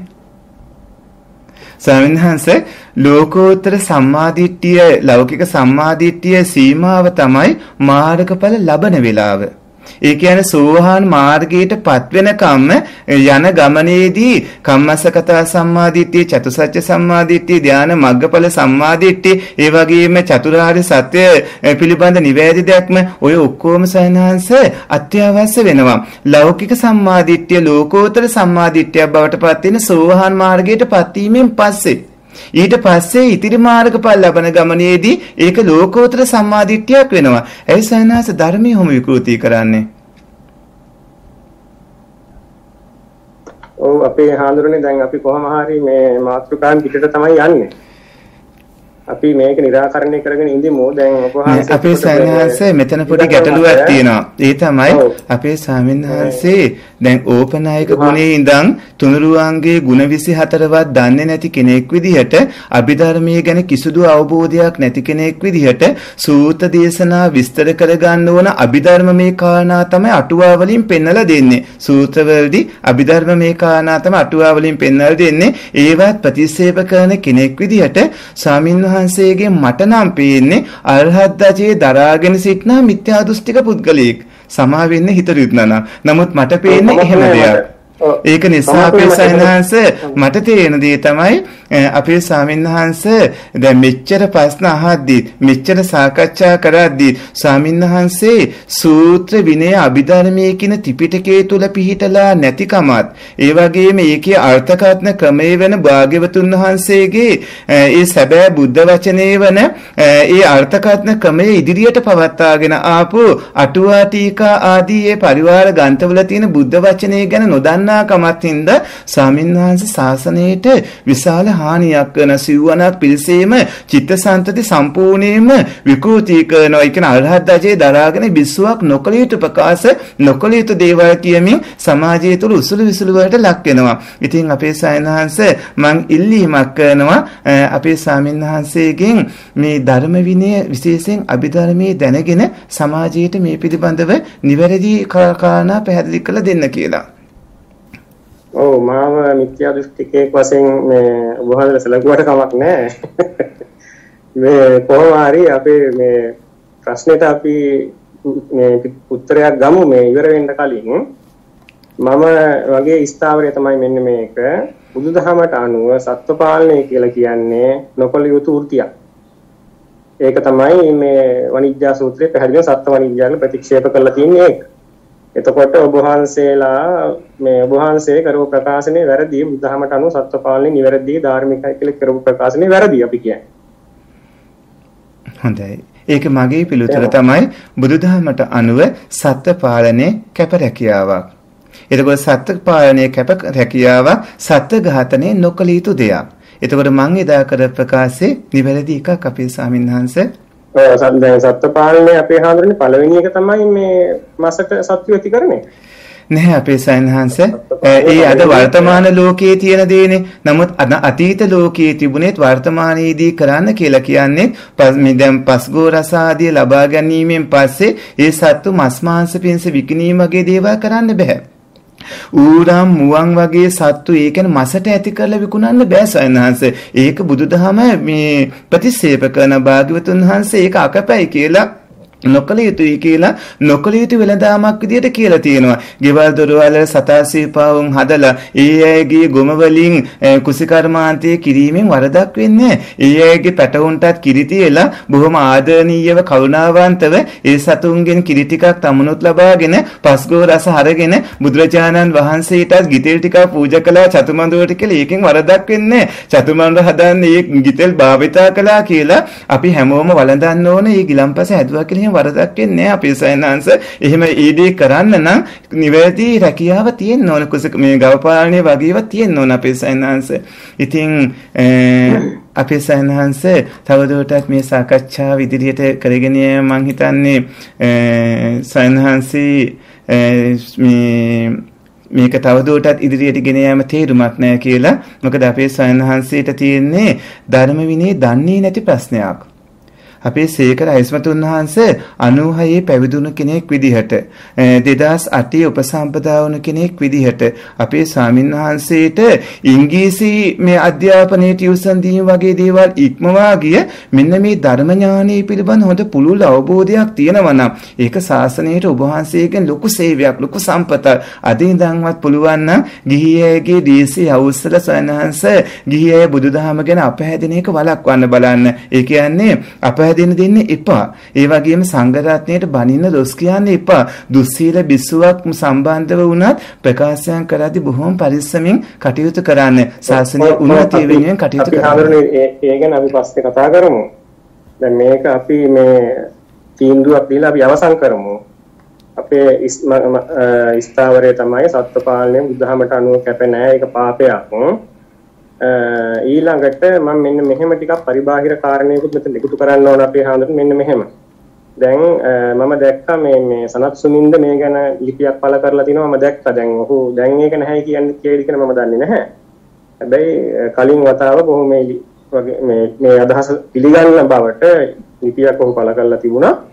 දැන් සමහර ප්‍රතික්ෂේප කරා මොකද මේක අවාසි. ඔය සත්ව හිංසනය, මස් මාංශ කෑම ආදී සාධාරණීකරණය කරගන්න උත්සාහ කරන අයට මේ කාරණේ අතරම අවාසි. ඒ නිසා මම මතක් කරන්නම් මෙන්න මෙහෙම අපේ හාමුදුරුවෝ. බුදුදහමටත් සමකාලීන සමාජ ආර්ථික දේශපාලනික සංස්කෘතික ප්‍රපංච බලපෑම. බුද්ධ දේශනාවට පැහැදිලිවම බලපෑම. ඒ අනුව අපේ හාමුදුරනේ එදා තිබිච්ච මේ ආර්ථික ක්‍රමය සමාජ ක්‍රමය දේශපාලන ක්‍රමය ඒවත් එක බුදුරජාණන් වහන්සේට සමහර කාරණා පිළිබඳව මේ යම්කිසි නිහඬ ප්‍රතිපත්තියක් අනුගමනය කරන්න සිද්ධ වුණා. උදාහරණයක් වශයෙන් ඔය සත්ව පාලනයම ගත්තොත් අපි අපේ හාමුදුරනේ එදා කෘෂි කර්මාන්තයේ සඳහා සත්ව ශ්‍රමය කෙනෙක් අත්‍යවශ්‍යයි. ඊළඟට ප්‍රවාහනයේ සඳහා සත්ව ශ්‍රමය කෙනෙක් අත්‍යවශ්‍යයි ඒ කාලේ. එතකොට මේ යුගයේ හැටියට බුදුරජාණන් වහන්සේ කිසිසේත්ම කියන්න පුළුවන් කමක් නැහැ අපේ හාමුදුරනේ මේක පවක් මේක කරන්න එපා කියලා කියන්න පුළුවන් කමක් නැහැ. හැබැයි අද අපි කියනවා ওই දෙකම අපට නවත්තන්න පුළුවන් අපේ හාමුදුරනේ මොකද අද ප්‍රවාහනය සහ කෘෂි කර්මාන්තය සම්පූර්ණ යන්ත්‍ර සූත්‍ර වලට පැවරිලා තියෙනවා. ඒ නිසා අපිට මිනිස්සුන්ට කියන්න පුළුවන් දැන් මේ පාපේ කරගන්න එපා. දැන් ඔයාලට මේ පාපේ මිදෙන්න පුළුවන් කියන එක කියන්න පුළුවන් අපේ හාමුදුරුවෝ. එතකොට යම් කිසි පාපයකින් මිදෙන්න ඉඩකඩ ලැබිලා තියෙද්දිත් අපි තවදුරටත් මිනිස්සුන්ට මේ පාපේ මිදෙන්න කියලා කියනවනම් අපේ හාමුදුරනේ මම මේ ඔය වික්ෂු ප්‍රේතය ආරවා මේවා කියලා පව් කරගන්නවා කියලා ඔබ වහන්සේලා මට කියනවා නම් මම කියනවා ඔබ වහන්සේලාත් මිදෙන්න පුළුවන් පාපයකින් මිදෙන්න අවස්ථාව ලැබිලා තියෙද්දිත් මිදෙන්න ඉඩ නොදී තවදුරටත් මේක කරන්න කියලා ඒක ධර්මයටත් මේ ඈඳලා පෙන්නලා ඔබ වහන්සේලාත් කරගන්නේ පාපයක් කියලා මම කියනවා. හොඳයි. අපි පින්වත් සේකර ස්වාමීන් වහන්සේ අහේතුක දුගති කියලා බුදුදහමේ වචනයක් තියෙනවා. ඒක විශාල කතාවක්. ඒක අපේ ස්වාමින්වහන්සේ පොඩ්ඩක් අධ්‍යයනය කළ දැනගන්න අහේතුක සුගති කියලා වචනිකුත් තියෙනවා. ඒකත් විශාල කතාවක්. දිහේතුක කියලා වචනිකුත් තියෙනවා. ඒකත් අතිවිශාල මාතෘකාවක්. තිහේතුක කියලා වචනිකුත් තියෙනවා. ති හේතුක කියන වචනය ඔය හතර ස්වාමින්වහන්සේ අපි ඒකවෝකාර චතුවෝකාර පංචවෝකාර ක්‍රමයට. ඒ වගේම කාම භව රූප භව අරූප භව ක්‍රමයට. සංඥා භව අසංඥා භව නේව සංඥා අනාසංඥා භවේ මේ ආසංඥා ක්‍රමයට. ඔය කොයි ආකාරයෙන් ගත්තත් ස්වාමීන් වහන්සේ අනිවාර්යයෙන්ම කතා කළ යුතු දෙයක්. ස්වාමීන් වහන්සේ බුදුරජාණන් වහන්සේගේ කාලයේ කුසකර්මාන්තය ආදී දේවල් අරගෙන දැන් ඒක නවත්තන්න පුළුවන් වගේ මිත්‍යා මතවලට එනකොට ස්වාමීන් වහන්සේ අර කිව්ව වචන හතර දන්නේ අහේතුක දුගති අහේතුක සුගති දිහේතුක තිහේතුක. ස්වාමින්වහන්සේ මේ සියලු සත්වයින්ට සසරින් එගොඩවන මඟ පෙන්වීමයි අපි කළ යුත්තේ. දැන් ස්වාමීන් වහන්සේ දන්නවත් දන්නේ මම මස් මාංශ ආදී අනුභව කරන්නේ නැති ස්වාමීන් වහන්සේ නම. හැබැයි අපේ ස්වාමීන් මේ මේ මාතෘකාවේදී අපේ භූමිකාව වෙන්න ඕන යම් කිසි සංසාරගත කෙනෙක් මොනම හෝ තණ්හා උපාදාන කම භව ආදීන් ඉන්නවා නම් යම් කිසි සංසාරගත කෙනෙක් අවිද්‍යා සංකාරය ආදී වැඩපිළිවෙලක ඉන්නවා නම් ඒ අයගේ ආයු කාලය අඩු වැඩි මොන මට්ටමක තිබුණත් මගපල් ලබන්න පුළුවන් විදිහට පාර පෙන්වන එක. දැන් ඔය සතා සීපාවුන් වෙලා විදිහට ඉන්න කට්ටියම ඊළඟට මිනිසුන් වෙන්න පුළුවන්. මිනිසුන් ආපහු සතා සීපාවුන් වෙන්න පුළුවන්. ස්වාමින්වහන්සේ මෙතන අපේ ස්වාමින්වහන්සේට වැඩිහිටි ස්වාමින්වහන්සේ නමක් විදිහට මම පුංචි ඉල්ලීමක් කරලා පුංචි මඟ පෙන්වීමක් කරනවා. අභිධර්මයේ ඔය වචන හතරෙන් කිව්ව ඔය උප්පත්තික වලට අදාළ කවුණු පරිස්සා කරන්න. එතකොට අපේ පින්වත් සේකර අයිස්මතුන් වහන්සේට ඇත්තටම දැනගන්න පුළුවන් වෙනවා. මස් මාංශ ගැන නෙමෙයි අපි කතා කළ යුත්තේ. යුත්තේ අපි ගිහියගේ රැකියා ආදී දේවල් ත්‍රිපිටකයේ සඳහන් වන ඒවාට විරුද්ධ මතවාද නෙමෙයි අපි කතා කළ යුත්තේ තමන් උලුප්පා ගැනීමක් නෙමෙයි කළ යුත්තේ සියලුම සංඝරත්නයේ නියෝජනය කළ සංඝරත්නයේ වෙනුවෙන් අපි ඉදිරිපත් වෙන්න ඕන ත්‍රිපිටක බුද්ධ වචනය සමාජගත කරන්න. ඒකෙන් මඟපල් ලැබීම තමයි සයන්හංශ සිද්ධ වෙන්නේ. පුළුවන් දවසක මේ කිව්ව වචන ටික තීරුම් ගන්න උත්සාහ කරන්න. එතකොට ස්වාමින්වහන්සේ ඔය කිව්ව මතේ වෙනස් කරගනීවි. මං ඉල්ලී ඉල්ලීමක් කරන අවසන් වතාවටත් අපේ සයන්හන්ස ටිකක් අභිධර්මයේ ඉගෙන ගන්න අටුවා ප්‍රතික්ෂේප නොකර අටුවාත් පරිහරණය කරන්න ස්වාමීන් වහන්සේ එතකොට නිවැරදි මතයකට ඒවි. හොඳයි දැන් ඔබ වහන්සේ මේ කියනවනේ කිහියන්ගේ රැකියාවලට විරුද්ධ වෙන්න බාධා කරන්න එපා කියලා. හැබැයි බුදුහාමුදුරු එහෙම කළා තියෙනවා අපේ හාමුදුරු. බුදුහාමුදුරුවෝ ගිහියන්ගේ රැකියාවලට බාධා කරලා තියෙන ඔබ වහන්සේ මේක දන්නවා ඇති. අරිය කියන මාළු බාන්න. බුදුහාමුදුරුවෝ මාළු බාන තැනට ගිහිල්ලා මේ මාළු බාන එක නවත් ඉතින් මේ එහෙනම් බුදුහාමුදුරුවෝ පෙරදීනේ මේ ස්වාමින් වහන්සේ ඉතින් ඒක සයනහස අපි උනත් අද කාලේ කළ යුතු දෙයක් නේ. දැන් සයනහස ඒකට උත්තරේ දීලා ඉන්න. ඒකට උත්තරේ දෙනවා කෙටියෙන් දෙන්න ඒකට උත්තරේ දෙනවා. ඒ තමයි ඒක බුදුරජාණන් වහන්සේ සියලු දෙනාට අදාළව කළා. ඒ කියන්නේ ගිහියේගේ රැකියාව කිව්වහම මාළු පාලනයක රැකියාවක් විදිහට අනුමත කරන්න එපා. ගව පාලනයේ රැකියාවක් විදිහට අනුමත කළාට. ගව පාලනය කියන්නේ දැහැමි කුසි කර්මාන්තයට අදාළව තියෙන මාතෘකාවක්. අර මාළු බැහැම සත්ව ඝාතනයක්. ඒක පාණාතිපාතා වීරමණී සික්ඛාපදං සමාදියාමි කියන සිල්පදයේ තීරුම දන්න ඕනම ගිහි කෙනෙක් පැවිදි කෙනෙක් ඒක දන්න ඒක නවත්තන්න ඕන. ඔව් එතකොට අපේ හරිය දැන් සබ්බේ තසන්ති දණ්ඩස්ස කියන එක එතකොට ඒක දේශනාව නෙමෙයි. දැන් ප්‍රාණඝාතය හරි අපි කවුරුත් පිළිගන්නවා වැරදි කියලා. දැන් සබ්බේ තසන්ති දණ්ඩස්ස කියන එක අපේ හාමුදුරනේ. සයන්සේ අනිවාර්යයෙන්ම අත්තානං උපමංකත්තාන හනේය නඝාතේ. ඒක තව උපමා කරලා සියලුම සත්වයින් ට දඬුවම් කරන්න නැතුව මෛත්‍රී කරුණාදිය පතුරවන්න ඕන සයන්හන්ස. එතකොට ඒ හැමෝටම සත්ව පාලනය කරන්න පුළුවන් දඬුවම් කරන්න නැතුව පුළුවන්. දැන් ඈ පුළුවන්. මම මේ ඔබ වහන්සේලා දැකලා තියෙනවද දන්නේ මම මගේ අත්දැකීමක් මම කියන්නම්. මේ දැකලා තිබුණා සමහර පිළිගන්න එකක් නෑ ඔබ වහන්සේලා බොහෝ අය දැකලා ඇති. මම දැකලා තියෙනවා අපේ හාමුදුරනේ පොඩි කාලේ වහුපැටියෙක්ව කරත්තට බඳින්න හාන්න පුරුදු කරන්නේ කොහොමද කියලා. මම දැකලා තියෙනවා. මාස 6න් මට මතක හිටිය වහුපැටියෙක්ව මේ නගුලේ බඳින්න. ඕකව අපේ හාමුදුරනේ සම්පූර්ණ හැම ගහන.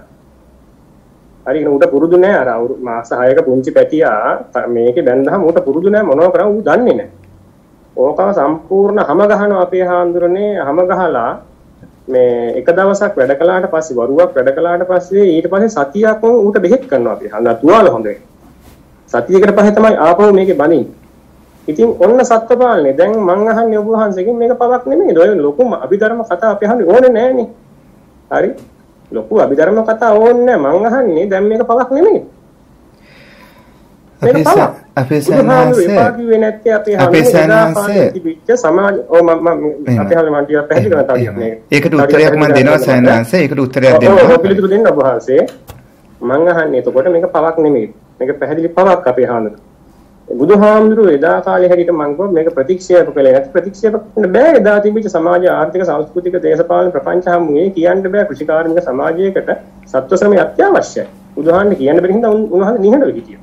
ඊළඟට ඔය ඔක්කොටම වඩා පවුනේ අපේ හාමුදුරනේ මිනී මරණ එක.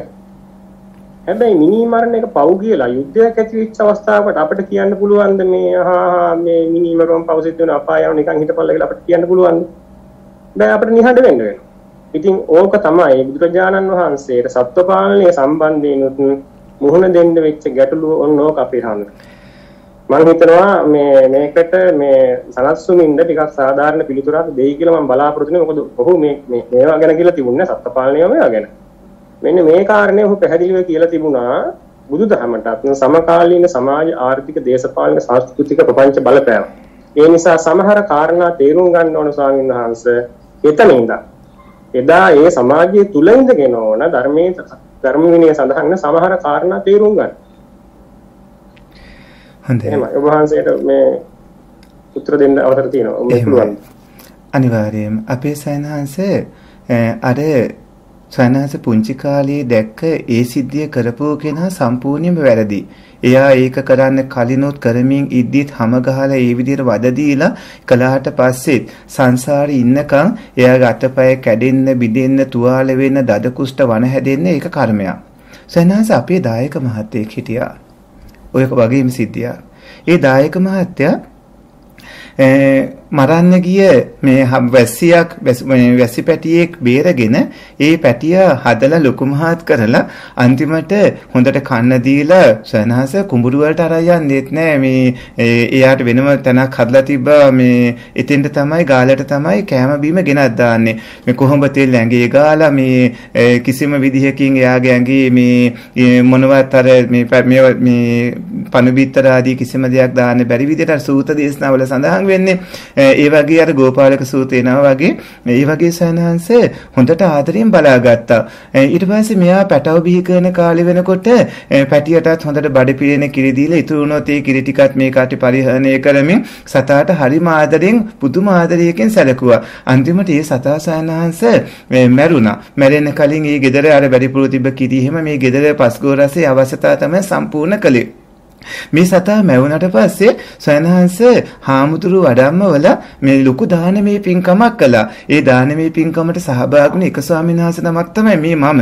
එතකොට අරය අඬනවා සයන්හන්ස ඇස්වලින් කඳුළු. මොකද එයාගේ මේ වේදනාව අන්තිමට විශාල වලක් කපලා අර සතාව වලදාලා ඒ සතා වෙනුවෙන් හත් දවස් දාන පින්කමකුත් කළා. තුන් මාස දාන පින්කමකුත් කළා. ස්වාමීන් වහන්සේ පූර්ව චේතනා මුංචන අපර චේතනා එක ගත්තාම ඒ පුද්ගලයාගේ ගව පාලනය ඊටාම ආනිසංසදායකයි. ඉතින් එකම පුද්ගලයෙක් දෙවිදියකින් වැඩ කරන්න පුළුවන්. ඒ කියන්නේ දැන් මිනිස්සයා කියන සත්වයා ස්වාමින්වහන්සේ කිව්වා වගේ වැරදි විදියට වැඩ කරන්නත් පුළුවන්. අපි මේ කියන විදියට හොඳ විදියට වැඩ කරන්නත් පුළුවන්. ඒක තමයි කුසල අකුසල කියන්නේ. සත්වයින්ගේ సంతානයේ අකුසල ධර්ම තිබ්බොත් සත්ත්වඝාතනාදී කර්ම කරනවා. කුසල කර්ම කුසල ධර්ම තිබ්බොත් මේ වගේ කුසල කර්ම කරනවා. සම්මා සංකප්පවලේන අවිහිංසා සංකප්පේම ප්‍රබලව තිබ්බොත් දැන් මේ කිව්වා වගේ සතාසීපාව වෙන විශාල කැපකිරීමක් කරනවා. ඉතින් අපේ ස්වාමීන් වහන්සේ ඒක ධර්මයේ ගැන දැනුවත්ව හිටියොත් තමයි තීරුම් ගන්න පුළුවන් වෙන්නේ අර වගේ වැරදි විදිහට සත්ත්ව පාලනය නෙමෙයි මෙන්න මේ වගේ නිවැරදි විදිහට සත්ත්ව පාලනය කරන්න ඕන. අතීතයේදීත් ඒ විදිහටමයි කළේ. බුදුරජාණන් වහන්සේට අභූත චෝදනා කරන්න එපා කියලා මම අපේ සේකර ඇස්මතුන් වහන්සේගෙන් ඉල්ලීමක් කරනවා. බුදුරජාණන් වහන්සේ ਸਰවඥයි. බුදුරජාණන් වහන්සේගේ ධර්මයේ අපේ සානංශ අකාලික වෙනවා. ඒ කියන්නේ කිසිම කාලයකදී ස්වාමින්වහන්සේ බුදුරජාණන් වහන්සේගේ ධර්මයේ වෙනස් කරන්න බෑ. කවුරු හරි කෙනෙක් මේ පිළිපත්නවා නම් මාස ගණන් ගිහිලා අවුරුදු ගණන් ගිහිලා හරි පින්වත්නි ඒ කෙනාට මේ අර ප්‍රතිඵල ඉදින්දාම ලබන්න පුළුවන්කම තියෙනවා. ඉතින් අතීතයේදී දේශනා කරපු ධර්මය වර්තමානයට ගැලපෙන්නේ කියලා ඔබ වහන්සේ බුදුරජාණන් වහන්සේ හා සමාන අදහස් දරන්න යන්න එපා. බුදුරජාණන් වහන්සේ දේශනා කරපු ධර්මයේ අතීතයටත් අදාළයි වර්තමානයටත් අදාළයි අනාගතයටත් අදාළයි අපි ඉන්න මේ ලෝකේ අලු දූවිලි වෙලා විනාශ වෙලා හිස් වෙලා ගිහිල්ලා අහපව හැදිලා සත්වයා පවතිනකොට අන්දේ ජලාබුජ සංසේජ සත්වෝ නැති වෙලා ඕපාතික සත්වෝ ඉඳලා අහපව අන්දේ ජලාබුජ සංසේජ සත්වෝ පහළ වෙලා මේ විදිහට පැවැත්ම වෙනකොටත් අදාළයි සයන්හන්ස භාග්‍යවතුන් වහන්සේගේ සම්බුදු මුවින් පිටවන වචන කාලෙන් කාලට වෙනස් වෙන්නේ ඒක ඒක සයන්හන්ස තේරුම් ගන්න. එහෙමයි මේ ස්වාමීන් වහන්සේ මම සතුටු වෙනවා කරුණු දෙකක් නිසා. එකක් තමයි දැන් අපි මං හිතන්නේ මාතෘකාවට එනවා. ඒ කාරණේ ගැන මම සතුටු වෙනවා. දෙවෙනි කාරණේ තමයි ඔබ වහන්සේ පිළිගත්තා අර මේ මම දැක්කා කියපු සිද්ධිය ඒ සත්වයාට පහර දීපු කෙනා ඒක වැරදි ඒක පවක් වෙනක ඔබ වහන්සේ පිළිගත්තා. ওই කාරණා දෙක ගැන මම සතුටු වෙනවා. හැබැයි මෙන්න ගැටලුව අපේ හන්ද ඔබ වහන්සේ මුලින් කිව්වා අස්වැයන් පුහුණු කිරීම ධාර්මික රැකියාවක් විදිහට කොහෙද කියනවා කියලා කිව්වා මේ කියලා ඔබ වහන්සේ කලින් කිව්වා. එතකොට දැන් ඔන්න අස්වැයන් පුහුණු පුහුණු කරන්නේත් අපේ හන්ද ওই විදිහටම තමයි. දැන් අස්ස ධම්ම කියනවනේ මං අන්තිමට මරනවා කියලා. ඉක්මවන්න බැරි අස්වැයා අන්තිමට එයා මරනවා. එතකොට අස්වැයන් පුහුණු කිරීම කියන්නේ අපේ හන්දනේ ධාර්මික රැකියාවක් නෙමෙයි. ඒ අනුව මේ කාරණායක ගත්තාම පැහැදිලි වෙනවා අපේ හාමුදුරනේ කොහොම කිව්වත් සත්ත්ව පාලනයේ ධාර්මික රැකියාවක් නෙමෙයි බුදුරජාණන් වහන්සේ එදා ඒ සම්බන්ධයෙන් යම්කිසි නිහඬ ප්‍රතිපත්තියක් මේ වගේ දෙයක් අනුගමනය කළා නම් ඒක ඒ කාලයට ගැලපෙන මේ කාලී කාලින ප්‍රශ්නයක් ඒක. එදා කාලීන ප්‍රශ්නයක් මොකද ඒ කාලේ හැටියට මේ සත්ත්ව පාලන ප්‍රතික්ෂේප කරන්න බෑ අපි හඳ. ඒ නිසා ඒක කාලිකයි. ඒ ඒ කාලයට අදාළ දෙයක්. ඊළඟට අනිත් කාරණේ තමයි දැන් මේ ධර්මයේ අකාලික බව. ඔව්. මෙතනදී කෙනෙකුට හිතෙන්න පුළුවන් තමයි ධර්මයේ අකාලික නෑ වගේ නේද කියලා හිතෙන්න පුළුවන්. ඒක ඇත්ත වශයෙන්ම අපේ හරනේ අපේ වරදක්. අපි කරන වරදක් තමයි කෙනෙකුට හිතෙන්න පුළුවන් මේක මේ ධර්මයේ අකාලික නෑ වගේ හිතෙන්න පුළුවන්. මම පැහැදිලි කරන්නම් මෙන්න මෙහෙම. දැන් ඔය වීගන් කියන සංකල්පයට මේ බොහෝ අය මේ අපිත් එක්ක කතා කරන අය ඔබ වහන්සේලාගේ දායකයෝ එතෙම අපිට හරියට උපහාස අපහාස කරනවා මේ මොකද්ද කිරි ටිකක්වත් කන්නේ නැහැ සමහරු පැණි ටිකක්වත් මේ බොන්නේ නැහැ මෙහෙම කිය කිය ඔය මොඩියෝනේ කිය කිය අපිට නිନ୍ଦා අපහාස කරනවා හැබැයි මේ ස්වාමින් වහන්සේ මම තේරුම් අරන් කියන විදිහට බුදුහාමුදුරුවෝ ඇත්තටම වීගන් කෙනෙක් මම කියන්නම් වීගන් ලගේ මේ ඉහළම ප්‍රතිපත්ති කීපයක් අපේ හාමුදුරනේ වීගන් කෙනෙක් අඩුම තරමින් සුරතල් සතෙක් හදන්නේ නැහැ ඊළඟට සතෙකුගේ පිටේ යන්නේ නැහැ. කරත් එක යන්නේ නැහැ. ඊළඟට සතුන්ගේ හම් ලොම් මේ මොනවද අස්ති වගේ දේවල් වලින් කරපු උපකරණයක්වත් පාවිච්චි කරන්නේ නැහැ වීගන් කෙනෙක්. එතකොට මෙන්න මේ කාරණා අපේ හාමුදුරනේ බ්‍රහ්මජාල සූත්‍රයේ සාමාන්‍ය ඵල සූත්‍රයේ තියෙනවා. බුදුවරුත් සංඝයාත් අඩුම තරමින් සතෙකුගේ හම් ලොම් අස්ති වලින් කරපු උපකරණයක්වත් පාවිච්චි කරන්නේ නැහැ කියලා කියනවා. ඊළඟට මේ ඇත්තස් ගව මහිසාදී සත්තුන් පිළිගන්නේ නැහැ කියලා කියනවා. ඒ අනුව බුදුරජාණන් වහන්සේ භික්ෂුවට පනවල තියෙන ඇත්තටම කිව්වොත් මේ ස්වාමීන් වහන්සේ අද අපි ඔය කතා කරන වීගන් ජීවිතයක් තමයි පනවල තියෙන්නේ.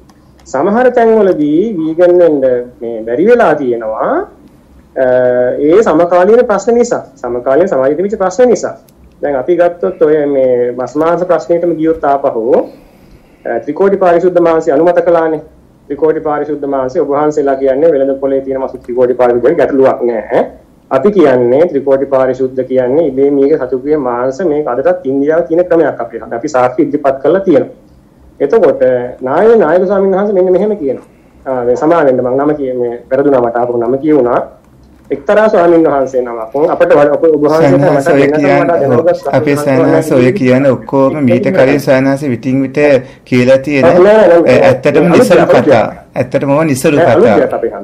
මේක අලුත් දෙයක්. අලුත් දෙයක් මේක ඉවර කරන ඊට පස්සේ වහන්සේට අවස්ථාව දෙනවා. ඒ එක්තරා ස්වාමීන් වහන්සේ එතන මෙන්න මෙහෙම කියනවා.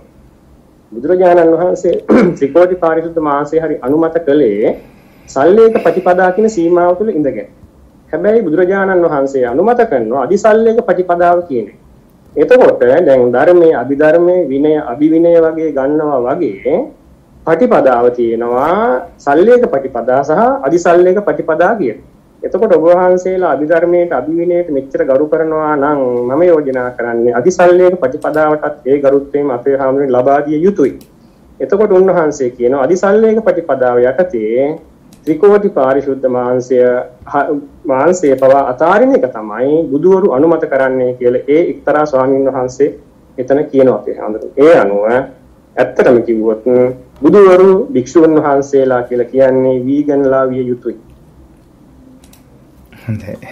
දැන් ඔබ හන්දේ පිළිතුරු දෙන්න පුළුවන්. හොඳයි. අපේ සයන්හන්ස බුදුරජාණන් වහන්සේ ඒ වගේම සංඝරත්නය සිව්වනක් පිරිස කෙලෙසුන් නසනකොට කෙලෙසුන් නසන්න ආසන්න වෙලාවේ අනුභව කරලා හිටිය ආහාරයේ නෙමේ බලපෑවේ බෝධිපාසික ධර්ම ටික බලපෑවේ. තුන්තරා බෝධියෙන් එක්තරා බෝධියකටපත් වෙන්න බලපාන ධර්මවල තියෙන්නේ ස්වාමින්වහන්සේ අනුභව කළ ආහාරය නෙමේ. බලපාන ධර්මවල තියෙන්නේ එයා ති හේතුකද කියන එකත් ති හේතුක හේතු සම්පත් තියෙන කෙනෙක්ද කියන එකත් පූර්වභාග ප්‍රතිපදා සමයේ සත්‍යමත් හේතු සම්පත් මුහුකුරා ගියාද කියන එකත් ඒ වගේම බෝධිපාසික ධර්ම 37 වර්ධනය වුණාද කියන එකත්. ඉතින් අපේ සයනාස අන්තිමට ටිකක් වේලා අරගෙන ඔච්චර දීර්ඝව කිව්ව ඔය කාරණා ඔක්කොම සම්පූර්ණයෙන්ම ප්‍රතිසේප කරනවා. ස්වාමින්වහන්සේ බුදුදහමේ උගන්වන්නේ සම්පූර්ණයෙන්ම සසරින් එගොඩවන ගමන. ඒ ගමනේදී මේ වෙලාවේ සන්තති ඇමැතුමා වගේ වෙරි හිඳුණු හිඳුණු මොහොතෙම ඉන්න කෙනෙක්. ඊට දින හතකට කලින් මස් මාළුව ආදී අනුභව කරමින් හිටිය කෙනෙක්. ගෙවල් රචවරු වගේ කෑම කාලා විවිධ මුව මස් මේ දඩ මස් විවිධ ඒවා කාලා බුදුරජාණන් වහන්සේ ළඟට ආව කෙනෙක්. විවිධ මස් මාංශ අනුභව කරලා විවිධ දුරාචාර ජීවිත ගෙවල නමුත් භාග්‍යවතුන් වහන්සේ ළඟට ආව කෙනෙක්ගේ බඩ ඇතුලේ තියෙන කෑම වර්ගය මොකද්ද කියලා සම්බුදු නුවණින් බලලා නෙමේ බුදුරජාණන් වහන්සේ ධර්ම දේශනා කරන්නේ. ඉන්ද්‍රිය පරෝපරියත් ඥාණයෙන් ඉන්ද්‍රිය ධර්ම බල ධර්ම වල දියුණු නොදියුණු කම්බල්ලා බෝධිපාසික ධර්මාදී දියුණු නොදියුණු කම්බල්ලා තමයි භාග්‍යවතුන් වහන්සේ ධර්මානුශාසනාවන් පවත්වන්නේ. ඉතින් අපේ සීකර ස්වයන්හන්ස සාකච්ඡා අපි මෙතකින් අවසන් කරමු. අපේ ස්වයන්හන්සේගේ මම නැවතත් අවසන් වලට ඉල්ලීමක් කරනවා. සංඝරත්නයේ නියෝජනය කරන අරහත් දජේ පින්වත් ස්වාමීන් වහන්සේ නමක් විදිහට සූත්‍රවල විතරක් නතර වෙන්නේ නැතුව අභිධර්මයක් ඉගෙන ගන්න. මේ විනයත් ඉගෙන ගන්න. අපේ ස්වාමින්වහන්ස ඒව ඉගෙනගෙන ලෝකයාට අටුවා ටීකාදියත් අනුව ධර්ම දේශනාවන් පවත්වන්න ස්වාමින්වහන්සේට තුනුරුවන්ගේ ආශිර්වාදයේ දෙවියන්ගේ රැකවරණය ලැබේවා. නිදුක් නිරෝගී දීර්ඝායුෂ ලැබේවා. මේ මනුස්ස ජීවිතයේදීම චතුරාර්ය සත්‍ය අවබෝධ ඥානයෙන් කළ සුන්නසන්නට අපේ ස්වාමින්වහන්සේට ශක්තිය ධෛර්ය ලැබේවායි කියලා ආශිර්වාද කරන මොනවා හරි ධර්ම කාරණාවක් දැනගන්න ඕන වුණොත් අපේ ස්වාමින්වහන්සේට අපි ඒක කියලා දෙන්නට බැඳී ඉන්න උදව් කරන සහයෝගය දෙනවා සයන්හස මොනවාරි ධර්ම කාරණාව දැනගන්න ඕන වුණොත් මට ඒක කියන්න. ඔව් හොඳමයි අපි හඳුනන තව මේ කාරණා දෙකක් මේ පොඩ්ඩක් මතක් කරලාම අවසන් කරමු නේද? කමක් නෑ නේද? සයන්හස දැන් සයන්හස අහපව ධර්ම විනයට විරුද්ධ මතයක් කිව්ව දැන් අපි ටිකකට කලින් අතර කරන්න හැදුවා අහපව මේ මතයක් කිව්ව නැවත මට අදහස් දක්වන්න වෙනවා දැන් 9 19 වෙලාව අපි පැය කාලේ අවසන් වෙලානේ එතකොට මේක මම විඥාණයෙන් දෙක ඉවර කරන්න අපේ හාමුදුරුවෝ. දැන් සනස ඒක නැවතත් පිළිතුරු දෙන්න එකක් වුණොත් පිළිතුරු දෙන්න වෙනවා. ඔව් කමක් නැහැ ඔබ හන්දි පිළිතුරු දෙන්න. එතකොට තවත් කාලය යනවා. මම කැමතියි සනස මෙතනින් මේක අවසන් කරනවා නම්. නෑ තව විනාඩි විනාඩි 5ක් ගමු තව. දැන් විනාඩි 5කට අවසර දෙන්න. තව කාරණා දෙකක් මේක මොකද මම ඇත්තටම ඔබ වහන්සේත් කාලයක් තිස්සේ කතා කරන්න හිටපු කාරණයක් මේක. නිසා මේ අවස්ථාව අපි ගමු ඒකට. ඒ තමයි ආහාරයෙන් සුද්ධියක් ලැබෙන්නේ නැහැ කියන එක. මේක අපේ හාමුදුරනේ මම කියනවා වැරදි. ආහාරය අනිවාර්යෙන් සුද්ධියට බලපානවා. ඒ තමයි සමහර ආහාර වර්ග ස්වාමීන් වහන්සේ තියෙනවා පැහැදිලිවම රාග ద్వේස මොහ වඩන ඒවා. අද કૃතිමව හදන ඒවත් තියෙනවා. ඊට අමතරව දැන් ওই සාකමය ආහාර වුණත් තියෙනවා සමහර ඒවා රාග ద్వේස මොහ වඩනවා අපේ හාමුදුරනේ. ඊළඟට සමහර ඒවා තියෙනවා රාග ద్వේස මොහ පාලනය කරන්නේ. අපේ සම්ප්‍රදායේ සිරිතක් තිබුණා මේ ස්වාමීන් වහන්සේ දාණයට වැඩිපුර දුන්නේ අර රාග දේශ මොහ පාලනය වෙන ආහාර. එහෙම සිරිතක් අපේ සම්ප්‍රදායේ තිබුණා. ඊළඟට මස් මාංශ කියන්නේ අනිවාර්යෙන් රාග දේශ මොහ වගේ සිතුවිලි වඩනවා අපේ හාමුදුරුවෝ. ඒ නිසා ආහාරයෙන් සුද්ධියක් ලබන්න බෑ කියන එක පැහැදිලිවම වැරදි. නිවන් දකින්න උත්සාහ කරන කෙනෙක් අනිවාර්යෙන් රාග ద్వේෂ මොහ පාලනය වෙන විදිහේ ආහාර ගන්න ඕන. එතනදී මස් මාංශ කොහොමත් රාග දේශ මොහ වඩනවා ඊළඟට තව සමහර සාක ආහාරات තියෙනවා රාග දේශ මොහ වඩණය. ඒවා බැහැර කරලා ඒවා පුළුවන් තරම් අඩු කරලා රාග දේශ මොහ පාලනය කරන ආහාර වර්ග ගන්න ඕනි. එතකොට ආහාරයෙන් සුද්ධියක් ලබන්න බෑ කියන එක සම්පූර්ණයෙන් වැරදි. ඊළඟට ඒකට මම වෙන පිළිතුරු දෙන්නද? ඒකට පිළිතුරු දෙන්න තව වෙන ප්‍රශ්නයක් නේද? ඔය වෙන ප්‍රශ්නයක්. එහෙනම් මම මේකට පිළිතුරු තියලා ඉන්නවා. හොඳයි. අපේ සයන්හන්සේ අපේ සුද්ධිය මොකද්ද? අපි බලාපොරොත්තු වන අවසන් අරමුණ මොකද්ද? මගපල රාග දේශ මොහ ප්‍රහාණය කිරීම. රාග දේශ මොහ සම්පූර්ණ මගපලනේ. ඒ කියන්නේ සෝහන්, සකදාගාමි, අනාගාමි අරහත් කියන සතර මඟ සතර ඵලයනේ. එතකොට ප්‍රහාණය කිරීම කිව්වත් ඒක වැරදි. ඒක වැරදි. මොකද රාග දේශ මොහයන් තදංග විදියට ප්‍රහාණය කරන්න පුළුවන්. විස්කම්බන විදියට ප්‍රහාණය කරන්න පුළුවන්. සමුච්ඡේද විදියට ප්‍රහාණය කරන්න පුළුවන්. පටිපස්සද්ධි විදියට ප්‍රහාණය කරන්න ඒක පටිපස්සී ප්‍රහාණය, නිසාන ප්‍රහාණය, කරන පහක් තියෙනවා. ඒ නිසා අපි කෙලින්ම අදාළ තැනට යන් ස්වාමින්වහන්සේ දැන් රාගක්කයෝ, දෝසක්කයෝ, මෝහක්කයෝ කියනකොට එතන කියවෙන්නේ නිවන.